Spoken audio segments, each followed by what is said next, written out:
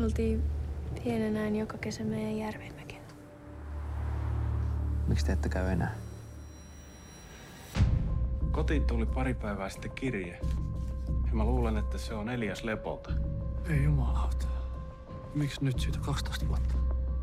Siis mitä niissä viesteissä lukee? Onko sun lapsen lapset turvassa? Tiedätkö se, missä se on? En. Luulet sä, että jos sä näkisit sen jossain, niin sä tunnistaisit sen? Se luulee, että Elias Leppo on täällä. Kreikassa. Mistä sulle jotain leikkiä vai?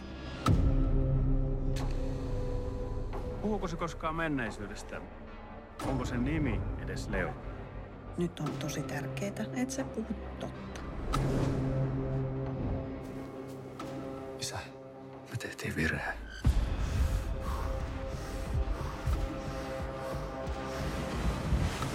Missä se asuu? 301.